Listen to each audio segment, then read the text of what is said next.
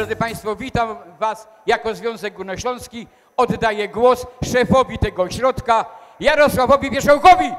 Witam serdecznie w uzdrowisku Goczałkowice Zdrój. Jako główny organizator i to ten starszy, bo uzdrowisko działa od 1856 roku, a nasi przyjaciele ze Związku Górnośląskiego od 1989. Wieczór będzie prowadził Marek Biesiadny Malarz.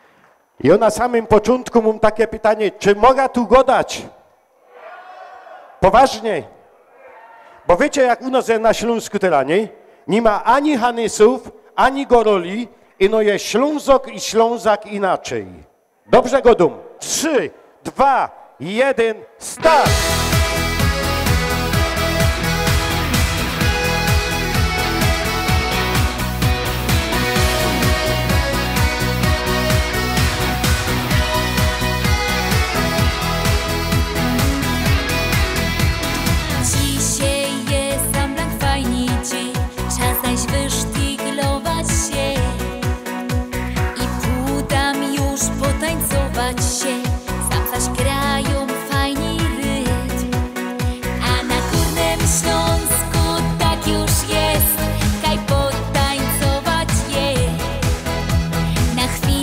słońce